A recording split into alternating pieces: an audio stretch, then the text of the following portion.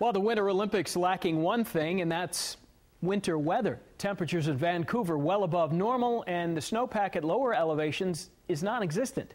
KCRA 3's Brian Hickey shows us how organizers and spectators are coping with spring like conditions.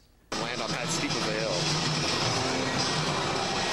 The mogul run at Cypress Mountain is ready for the Olympics. Amazing considering it looked like this nearby run just a few weeks ago. We're quite happy with where we are, given that we are fighting Mother Nature.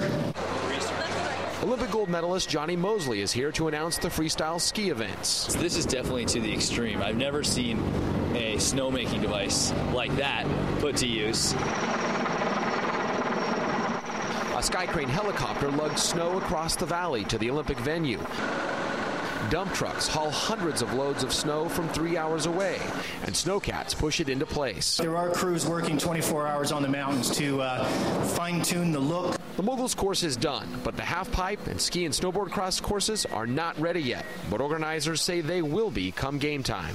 Climb the mountain 6,000 feet, and it's a whole different story. Here at the top of Whistler Blackcomb ski area, they've had record snowfall.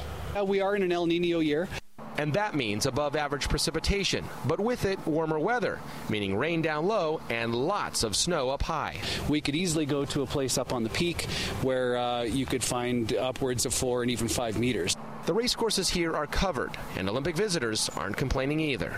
Overdressed, had to take off my coat a minute ago because I got too warm. No hat, no mittens, jeans. It's beautiful. Forecasters say this storm will bring in some cooler air. Olympic organizers say as long as it doesn't rain, they'll be happy. In Whistler, I'm Brian Hickey, KCRA 3 reports.